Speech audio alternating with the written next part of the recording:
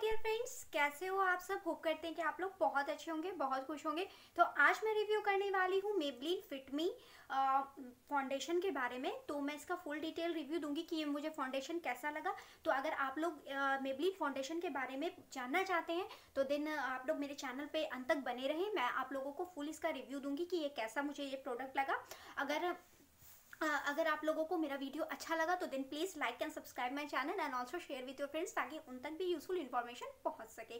तो without wasting time let's get start तो ये मेबलिन का फाउंडेशन है फिटमी फाउंडेशन है। अगर इसकी पैकेजिंग की बात करें तो ये ट्यूब इसका पैकेजिंग है ट्यूब टाइप का पैकेजिंग है ब्लैक कलर का कैप है इसका। और इसका जो शेड है 115 115 शेड है। फाउंडेशन है, ये नेचुरल टोन के लिए बहुत ही ज़्यादा अच्छा टोन शेड है। अगर आप लोगों का नेचुरल कलर है नेचुरल टोन है गेहुआ कलर का तो आप लोग इस पर जा सकते हो। वन वन हंड्रेड फोर्टीन इसका फाउंडेशन शेड है नंबर और ये नॉर्मल टू ऑयली स्किन के लिए है। जिन लोगों का नॉर्मल स्किन है, जिन लोगों का ऑयली स्किन है तो आप लोग उसे, इसे यूज़ कर सकते हैं। और इसके साथ आपको एसपीएफ भी आता है एस पी लेकिन मैं रिकमेंड करूँगी कि आप लोग सनस्क्रीन फिर भी यूज़ कर ले।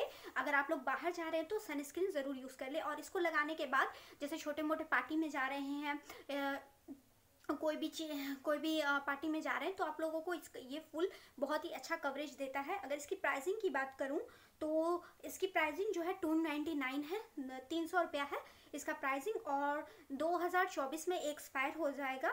और इसकी अगर क्वांटिटी की बात करूँ तो इसकी जो क्वांटिटी है इसकी क्वांटिटी 18 एम है और लेकिन थोड़ा एक्सपेंसिव ज़रूर है ये गाइस नो डाउट बहुत ही, हमको तो थोड़ा एक्सपेंसिव लगा है ये प्रोडक्ट लेकिन अगर इसके टेक्सचर की बात करूँ तो एकदम ब्राउन कलर का इसका टेक्सचर है। ये नेचुरल टोन में बहुत ही ज़्यादा फिट हो जाएगा गाइस और देख सकते हैं। आप लोगों को पहले प्राइमर लगा लेना है, फिर इसे यूज़ करना है। आप लोग जैसे मार्केट जा रहे हैं तो बीबी क्रीम के जगह आप ये यूज़ कर सकते हैं, जो कि बहुत अच्छा है, ये फिटमी का फाउंडेशन लेकिन हाँ ये बात है कि थोड़ा एक्सपेंसिव है बट ओवरऑल अच्छा है। मैं अगर आप लोग लेना चाहते हो तो मैं रिकमेंड करती हूँ कि आप लोग ले सकते हैं। जिन लोगों का, जिन लोगों को बजट फ्रेंडली लगे तो आप लोग ले सकते हैं, लेकिन जिन लोगों को बजट फ्रेंडली नहीं ले, नहीं लगे तो वो लोग नहीं लें।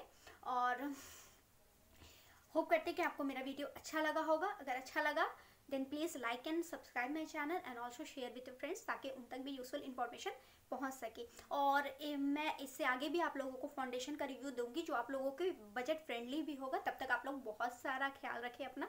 और अपने घर वालों का अपनी फैमिली का बहुत सारा ख्याल रखें। Thank you for watching my video